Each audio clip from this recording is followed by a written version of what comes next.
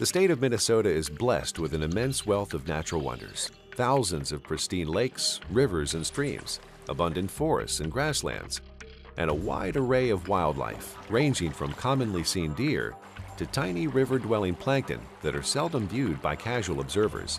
Minnesota also has a rich outdoor heritage with virtually unlimited access to boating, swimming, and fishing.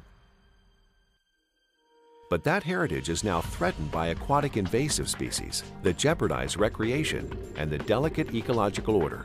It's time for us to take that threat seriously. More than two dozen aquatic invasive species have invaded Minnesota's waters.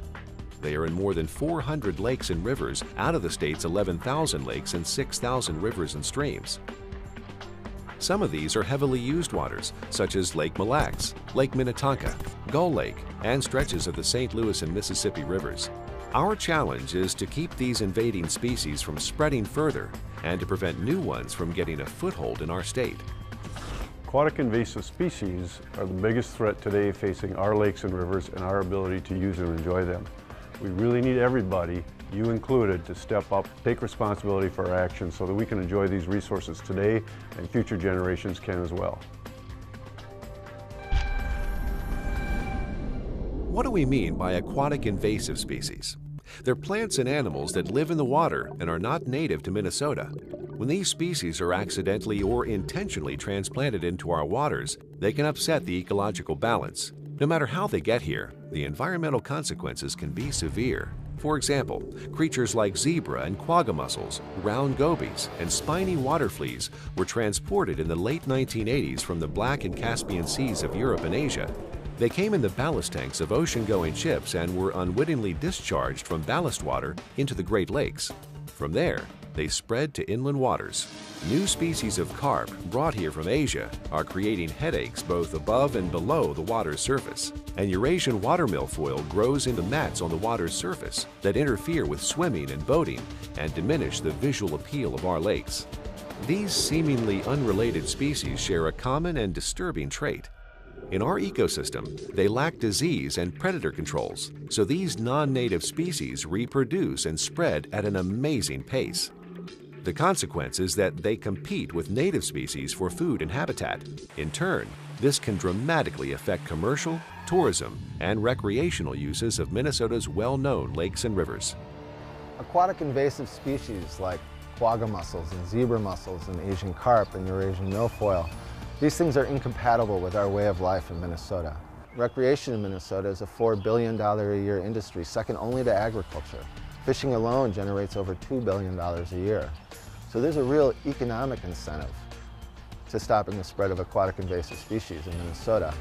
But more than that even, our way of life and who we are as Minnesotans would be lost if these things get into our lakes and streams. Foremost among the invertebrate invaders are zebra mussels, small striped mollusks about the size of your thumbnail that multiply at incredible rates. Zebra mussels encrust rocks, docks, boats, and water supply intakes with a sharp coating of shells. Meanwhile, their larger but lesser known relatives, quagga mussels, colonize deeper water. Zebra mussels are found in portions of the Mississippi and St. Croix rivers and in select popular fishing lakes like Mille Lacs, Gull, Minnetonka, and other waters. Zebra mussels and quagga mussels both present a really serious threat to our inland lakes in Minnesota. They feed on plankton, the microscopic plants that are in our lake, and this is the base of the food chain. And if the zebra or quagga mussels build up high enough densities in the lake, they can strain out so much of this plankton population, the base of the food chain, that there may not be the food available for other animals in the lake, such as the game fish, and this could have serious long-term impacts on our lakes here in Minnesota. When invasive species first arrive, their population may rapidly expand in the new environment and then eventually settle into a new ecological balance which can be drastically changed. With zebra and especially quagga mussels, the extent of the damage is difficult to predict because quagga mussels infest deeper waters than zebra mussels. Together, they have the potential to wreak havoc throughout the ecological system. We focus a lot of our work on some of the, the busiest recreational and fishery lakes in the area. We've seen firsthand how rapidly these zebra mussels spread. On Gull in 2010, we've witnessed zero zebra mussels on the equipment that our company removed. In the fall of 2011, one year later, nearly every single job was covered in zebra mussels. So, how are zebra and quagga mussels spread to new locations? These and other aquatic invasive species hitchhike in several ways by attaching to things that have been in the water, by clinging to aquatic plants, and by being carried with the water itself. People can unintentionally move these invaders on trailered boats, personal watercraft, duck boats, kayaks, and canoes.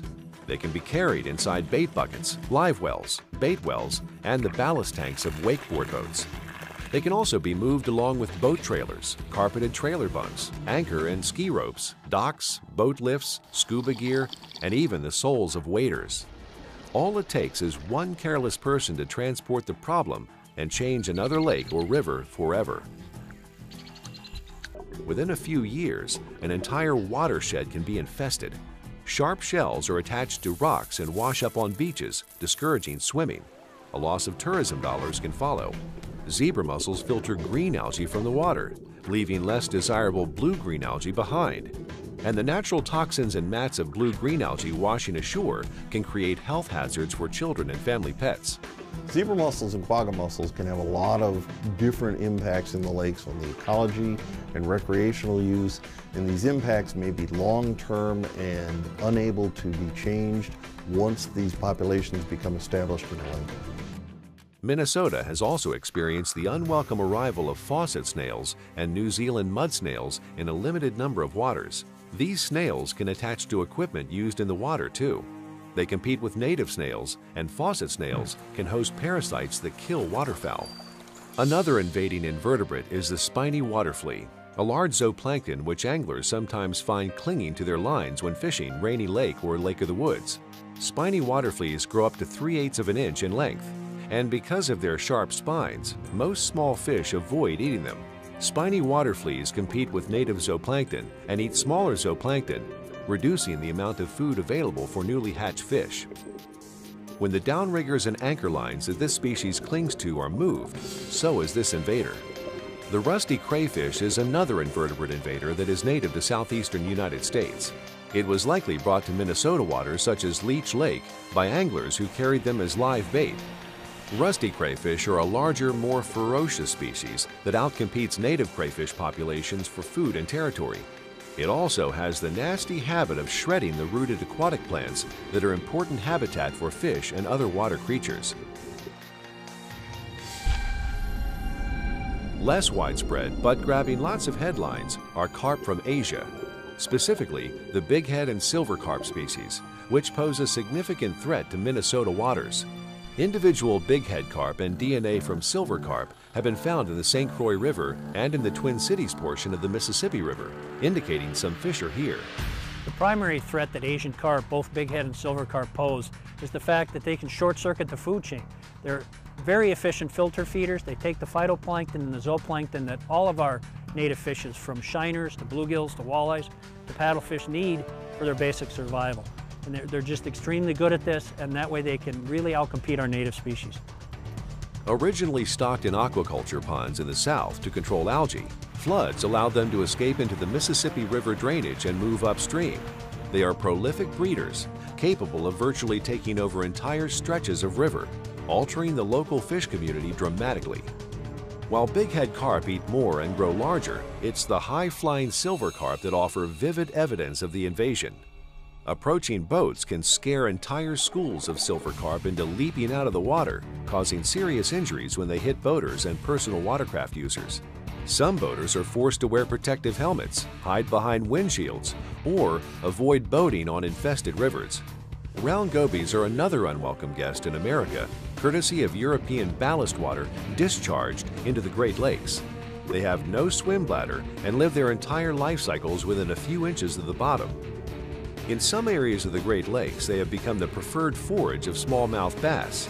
But due to their sheer numbers, there are more than enough gobies present to withstand bass predation. Young gobies devour a combination of insects, fish eggs, and whatever they can get. Because they have ferocious appetites, gobies can quickly gobble up the eggs in the unguarded nests of bass or panfish. European ruff are another European transplant that has moved into the St. Louis estuary at Duluth. Like gobies, they are unchecked predators that compete with native species like yellow perch. Minnesota's waters also have been invaded by common carp, sea lamprey, and white perch, all of which stress native species. Eurasian water milfoil is one of the plant invaders which has become a nuisance in many Minnesota waters. The introduction of Eurasian milfoil to America can be traced to the aquarium trade, where plants were imported for use in fish tanks but ended up in local waters. Eurasian milfoil is an aggressive rooted plant that quickly grows to the surface. It spreads out across the water surface, forming an umbrella-like canopy that blocks sunlight and chokes out the native plants below. Milfoil forms dense, unsightly cover through which it's difficult to swim or navigate. Small pieces of milfoil carried on boats and recreational gear can seed a new invasion if they are carried to other lakes. Numerous attempts have been made to eradicate Eurasian milfoil and other invasive aquatic plants from lakes, mostly by chemical treatments or pulling, but these efforts have not succeeded in completely eliminating the plants. The reality that eradication is not usually possible means preventing it from spreading is a top priority. I grew up out here on Minnetonka since the early 70s. 1987, milfoil was found on the lake and grows in about 5 to 15 feet of water. Uh, in that 5 or 15 feet of water is typically matted. We've got a 14,000 acre lake here, and of, of the lake, about 6,000 acres of it is that 5 to 15 feet of water depth. Before we had milfoil, before the 1987, the lake was completely usable as far as an acreage standpoint. You didn't notice it, it was one of the cleaner lakes that was out there. Since then, it's everywhere, 5 to 15 feet of water depth. That's areas where we swim, fish, water skis, race sailboats, all those different things. And with it being matted there, that's completely impacted or changed the way we've used the lake or the way I grew up knowing the lake. We can't use those areas for that type of stuff. Also present in Minnesota are unwanted populations of curly-leaf pondweed, flowering rush, and purple loosestrife.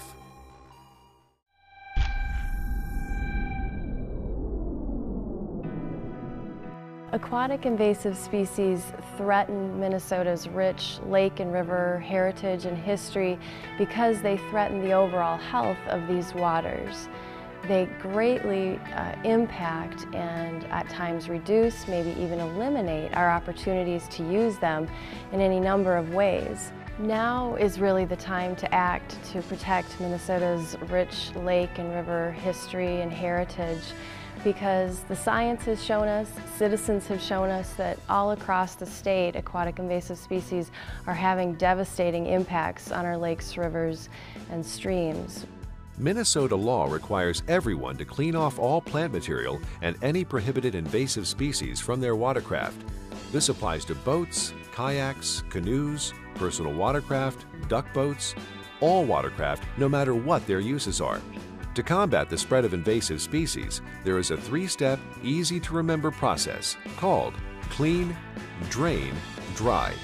It only takes a few minutes for boaters and outdoor enthusiasts to apply these simple yet effective steps every time they leave a boat access or body of water. Minnesota has strict laws to prevent boaters and anyone working or recreating on the state's waters from moving aquatic invasive species to other lakes and rivers. It only takes simple steps to follow the laws.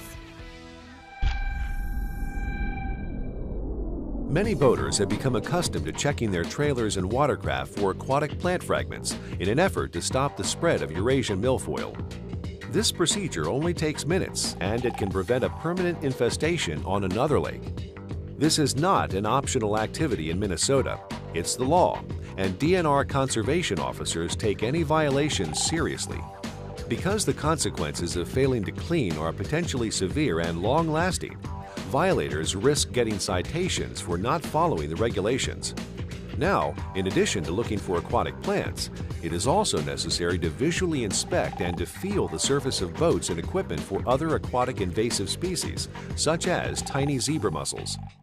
It's best to have a routine for your inspection and cleaning.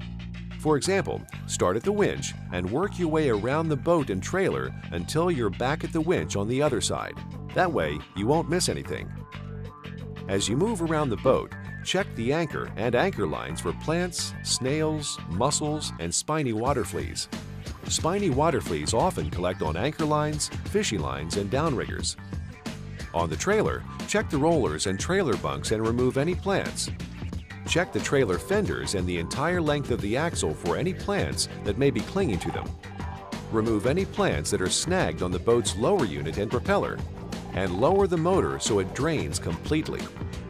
Look closely at the lower unit and motor parts that are below the waterline for zebra mussels, snails, spiny water fleas, and other aquatic animals. Also inspect the hull and other boat equipment where these plants and animals could attach. A flashlight might be helpful to see under the boat and in shadows during this inspection. Run your hand over the boat hull below the waterline and over the transom to detect if there are any tiny zebra mussels attached. Waterfowl hunting and angling presents unique risks for accidentally spreading aquatic invasive species.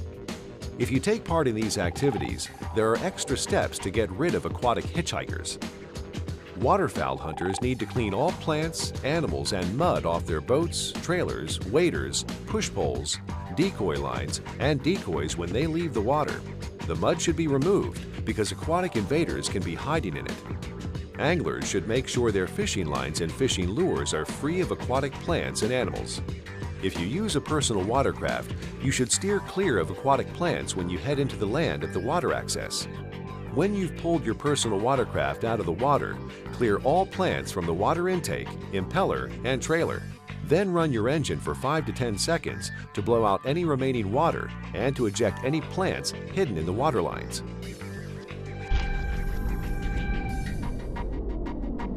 To comply with state law, you must drain all water from your watercraft and any container or equipment that could hold water carrying invasive plants or animals.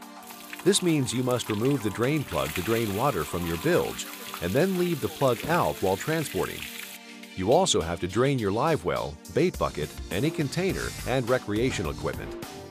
This includes the lower units of outboard motors and the water lines of personal watercraft. If you're a wakeboard boat user, you need to make sure you aren't carrying aquatic invaders in your ballast tanks. If you can't completely drain the ballast tanks, you should flush and decontaminate them by filling them with hot water through the water intake or through hole fittings. Some aquatic invasive species, like the larval phase of zebra mussels and spiny water fleas, are so small that they're not easily seen in the water. By draining water before you leave the lake or river access area, you avoid transporting these invasive species along with the water. Anglers using live bait must take additional precautions as well. They must drain out the water in their bait buckets on shore and replace it with clean water if they want to save bait for future use. This can be done by bringing extra water and leaving it in your vehicle. Make sure your water stays cool so the life of your bait is maintained. Discarded bait should never be dumped into a lake or river, only in the trash. If you're a waterfowl hunter, you need to remember to drain your decoys as well as your boat. Because the law makes it illegal for you to transport aquatic invasive species, the DNR recommends some additional steps to help remove or kill aquatic invasive species that may be attached to your boats and equipment after cleaning and draining. Watercraft users are advised to do at least one or more of these steps to remove or kill aquatic invasive species that might be attached to boats or equipment. Option 1 is to use hot water to rinse all areas of your boat, trailer, live well, and gear that have been in the water. This will kill invasive species such as zebra mussels. Option 2 is to use a high-pressure water spray on your boat and gear to remove invasive species. If effective cleaning equipment is not available, option 3 is to let your boat, gear, and equipment dry for at least 5 days. Allow any equipment that may have absorbed or collected water to air dry for at least five days as well. As owner of a popular guide service here in central Minnesota, our fishing guides are on the water daily, hopping to a number of different lakes throughout the season, and aquatic invasive species have become a major problem. But do your part, and it's simple. Clean, drain, and dry to help prevent the spread of aquatic invasive species. The state of Minnesota and its residents are making a significant commitment to prevent the spread of invasive species by ramping up efforts to inspect and decontaminate boats and water accesses around the state where invasive species are present. In addition to visual inspection by trained personnel, These stations provide the ability to pressure wash your watercraft and trailer with water heated to 140 degrees Fahrenheit, which is hot enough to kill zebra mussels. In addition, Minnesota has started conducting roadside checks at random times and locations to ensure that the users of our lakes and rivers are following the regulations. Your cooperation at these roadside checks is critical to stopping the spread of invasive species. If you see any violations of aquatic species laws, report it to your local DNR office or conservation officer. Following these clean, drain, and dry procedures will prevent you from giving any invading aquatic species a ride to another Minnesota river or lake. The Minnesota DNR is helping people learn how to stop the spread of aquatic invaders, but state, county, local, and tribal law enforcement agencies are working to educate people about their legal obligations and to enforce the law as well. Under state law, lake service providers in Minnesota must supply approved training for all of their personnel who install and remove docks and lifts. By training employees in what to look for, they can detect aquatic invasive species early to help prevent their spread. Lake associations and cabin owners have also been leaders in preventing the spread of aquatic invasive species by setting up and running local inspection efforts. Major fishing tournament organizations are participating too by implementing requirements to prevent the spread of aquatic invaders. They're spreading the word to their participants and audiences. Local fishing events and skiing and boating competitions are encouraged to take similar proactive measures. Ongoing education of all water uses is the best way to get participation. Laws and enforcement alone won't get the job done. We need everyone who uses our valuable water resources to make it his or her personal goal to protect these unique resources. Minnesota is blessed uh, with a lot of lakes, almost unique in this country. Um, we all enjoy them. We have unfettered access to our lakes, but the spread of aquatic invasive species threatens that. Our biggest challenge in, in winning the fight against the spread of aquatic invasive species in Minnesota is to engage and activate, uh, organize all segments of the population. No one organization, no one agency can do it, no laws can do it. Uh, it takes all the stakeholders to be involved. It has economic, recreational, the fishing experience, and up north experience impact. It affects everyone, and we need to do something. Every citizen needs to participate in preventing the spread.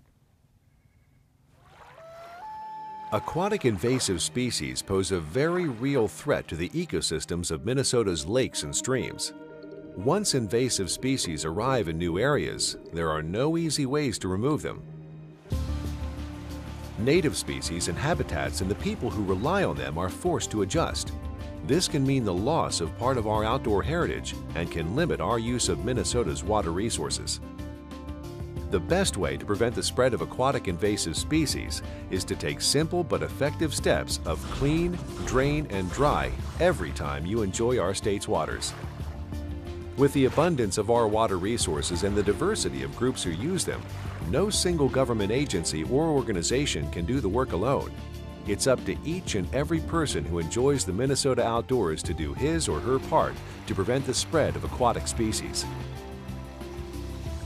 We're all in the same boat together, and together we can protect the lakes and rivers and the water activities that we treasure.